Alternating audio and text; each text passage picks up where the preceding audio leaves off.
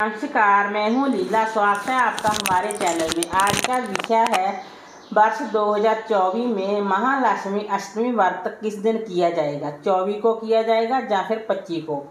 आपको बता दें कि महालक्ष्मी व्रत सायकालीन और रात्रिकालीन व्रत होता है, क्योंकि सप्तमी तिथि 24 सितंबर की शाम को पाँच बजकर पैंतालीस मिनट से शुरू हो रही है। ऐसे में ये व्रत 24 सितंबर 2024 दिन मंगलवार को ही रखा जाएगा।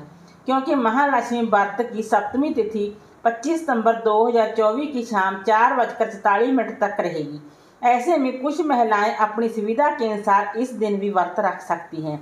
वीडियो अच्छा लगा हो तो लाइक कीजिए, शेयर कीजिए, सब्सक्राइब कीजिए। Thanks for watching this video.